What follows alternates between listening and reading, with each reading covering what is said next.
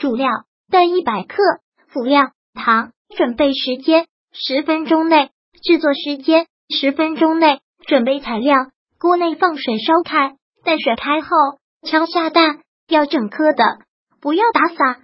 蛋稍有结块的时候，再将蛋粉两半。爱吃甜的多加点糖就好了。营养快捷早餐烹饪技巧：一定要水开后整颗蛋下。如果喜欢本视频，请分享并订阅本频道，别忘了按赞哦。